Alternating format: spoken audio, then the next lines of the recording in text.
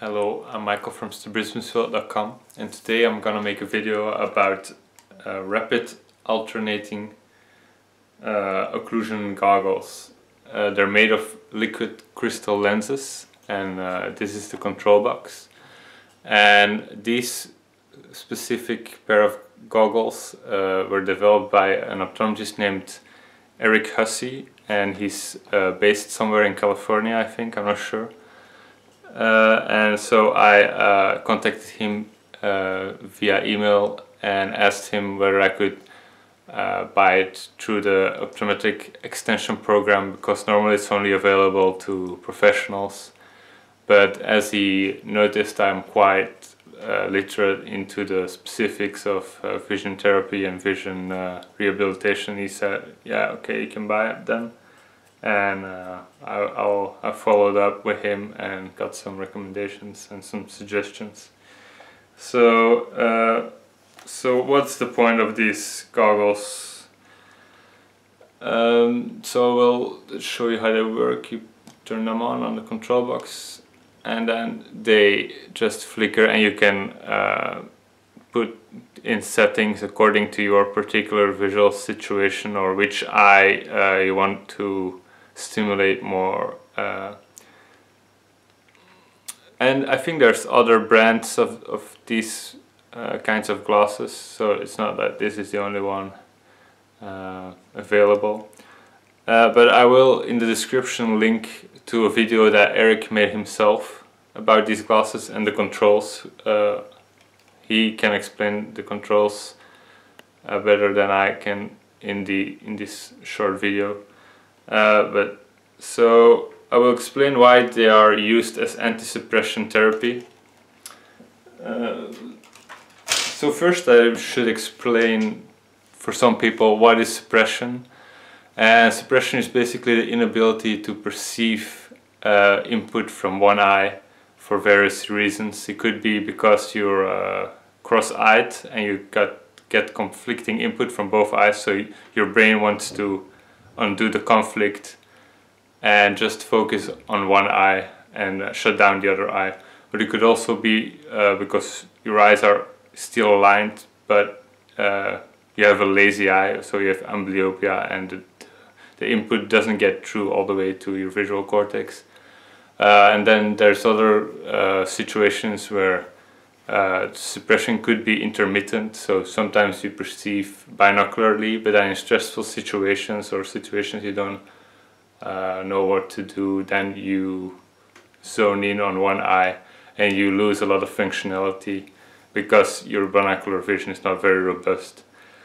And so why is do I, do I think this is uh, a good way to do anti-suppression uh, therapy? And according to all the research that back this up because I've been reading the research so I'm not just like making this up. Um, most Eric has done some of the research himself but there's more research in the more general uh, pool. Um, so what do you need for effective anti-suppression uh, therapy? There's two things. First you need to create a binocular situation uh, which doesn't allow for the weak eye or the not dominant eye to shut down and that you have some kind of um, feedback as to knowing whether you're looking with one eye or both eyes. And famous examples of this uh, after Susan Barry, her many TED Talks and books, and, uh, are the, the Brock string, which gives you an indication of whether you're using both eyes but there's many more uh, possibilities. For example, I've developed uh, a Tetris game that you should use with anaglyph glasses, so you know that you only see the, the blocks on the ground with one eye and the falling blocks with the other eye, and you need to be watching with both eyes to play the game, for example. But anyway, the first condition is are you using both eyes and do you have a way of telling whether you're using both eyes? And according to uh, some research and notably Eric Hussey's uh, research is the second condition should be or the second condition that make that might make anti-suppression therapy more effective is motion because vision is all about motion. Uh, you will be more attentive if something happens uh, and if something is moving than whether you are just looking at standstill and then the eye might be shutting down more easily. And also, again, in vision therapy, they, they, they know this. Uh, a good vision therapist might, for example, if you're doing the Brock string and it's not, you're not seeing the, the you're not seeing the second eye and you're not seeing the, the cross going through the bead, then they might say, yeah, move the string a bit or do something or tap it with your finger uh, to induce some motion and then sometimes all of a sudden the second eye sees it and uh, has the cross through the bead. So two things, binocular situation and visual motion, very important. And to underpin this, uh, so there's kind of two theories of why suppression happens. The, the inhibition therapy is that, as I told you, uh, you might have double vision and the brain has a conflict and it wants to shut down the conflict so it inhibits the second image. So that goes into the idea that it is reaching the visual cortex all the way from your eye to the back of your head, but the brain is actively inhibiting. But then the other idea could be your eye is healthy, but it so when the motion when there's no motion, it just shuts down the pathway all the way to your visual cortex so it's not even getting there.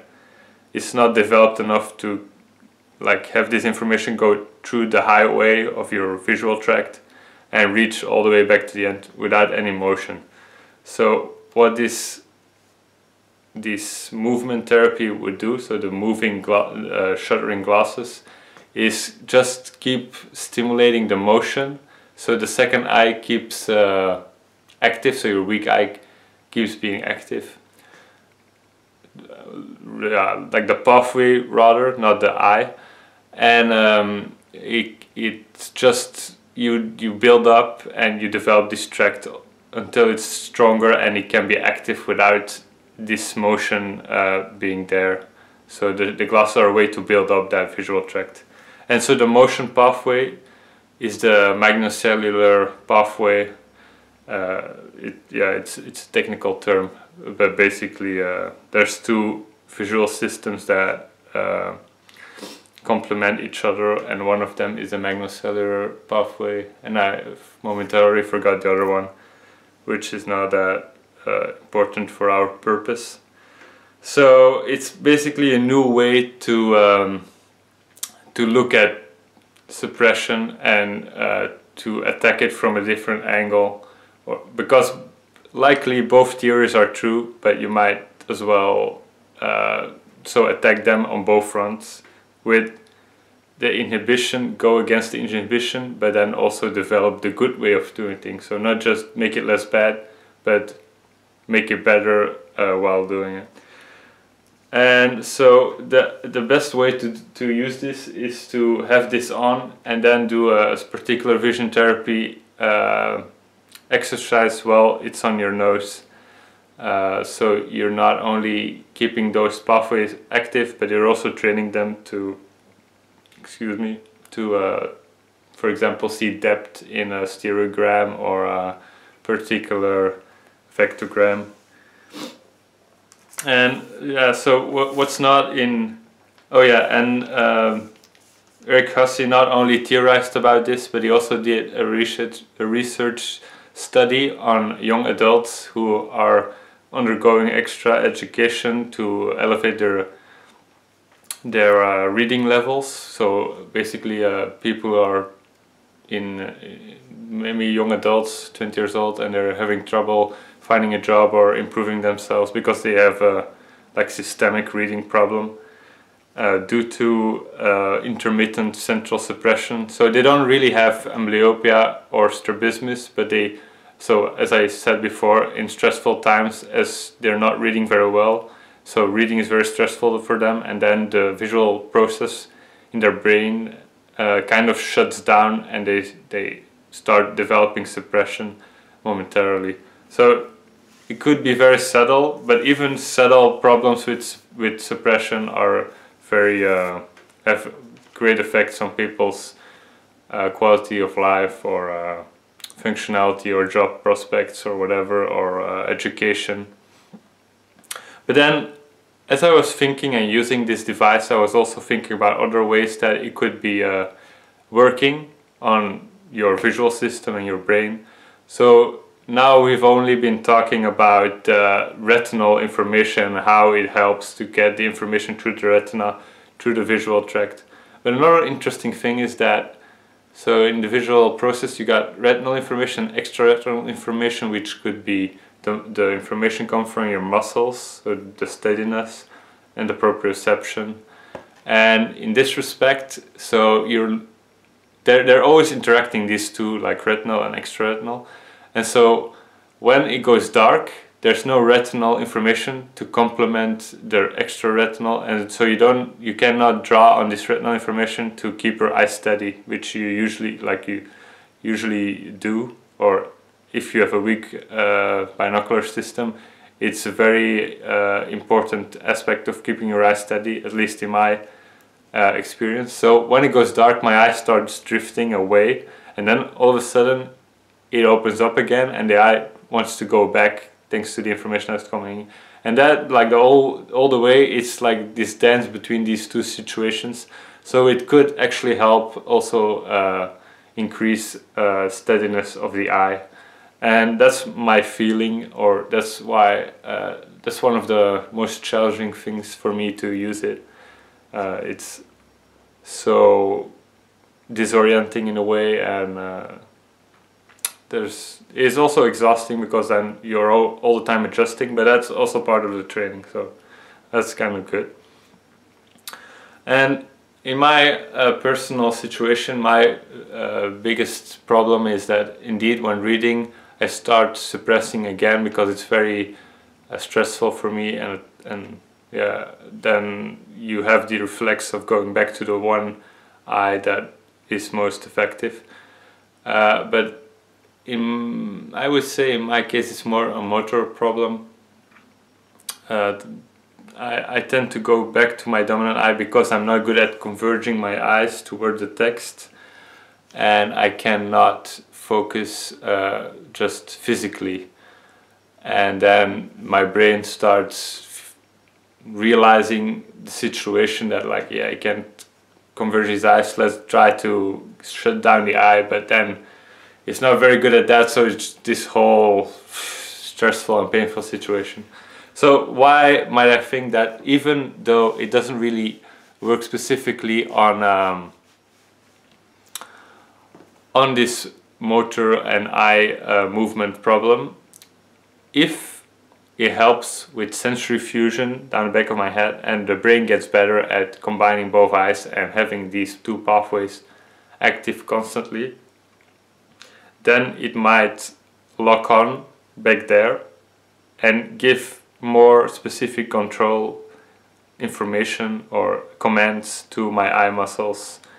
And uh, they might like start interacting and start uh, reinforcing themselves. And uh, as a whole you will build a stronger and more robust visual system. And the binocularity will be ingrained uh, like ultimately which is my goal. Um, and I'm hoping uh, with time and more stimulation that I will still get there uh, despite being 26 and despite having had three eye surgeries which is the main obstacle uh, to having like smooth eye movements and uh, reaching certain ranges uh, with my left eye. So I think as my uh, muscles get more agile and leaner that these two aspects of the sensory fusion and the motor fusion, so the movements uh, might reinforce themselves and as I get older I might actually get better. so by the, the, time I'm 30 I might be getting somewhere uh, close to a proficient reading level which might help me achieve more of my life goal life's goals and that might be uh, great. So I'm hoping for that and I'm doing everything I can uh, to get there. And I will uh, post some more information about these goggles in the description of the video because I, I haven't said everything and I will uh, post the links to the research. Uh, so I hope this was kind of useful and uh, I hope I haven't been babbling on for too long. So um, I will be posting more videos about other exercise and topics. Uh, see you next time. Bye.